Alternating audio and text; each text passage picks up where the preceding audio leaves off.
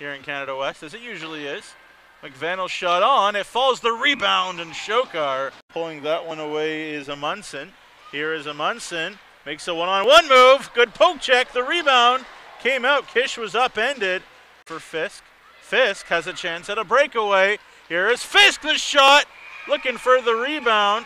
Went hard to the net. Not able to score on it. And back the other way. Magwood comes, but the penalty is over as the shot is blocked. McVannell chips that one down low. Here is Magwood. The shot, she scores!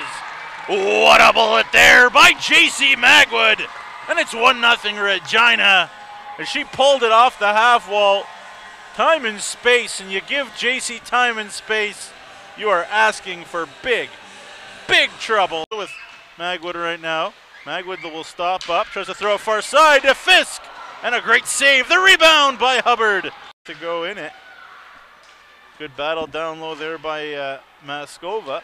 Out in front, the chance, and Shokar, the rebound, they score! Martina Maskova in the blue paint. Thought Shokar had made a miraculous, and I mean miraculous save on Ireland South. As Hubbard will pull it away, and the penalty is over. Hubbard back to the point for Crow.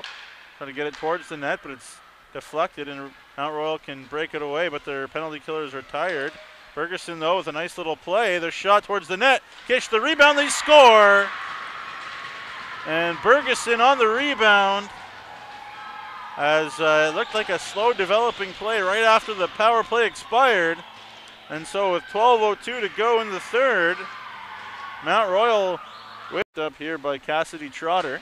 Turns it right over to Fisk. The shot, rebound, Hubbard, and what a save by Shokar on Hubbard. She has been magnificent as Cassie Shokar tonight. And again,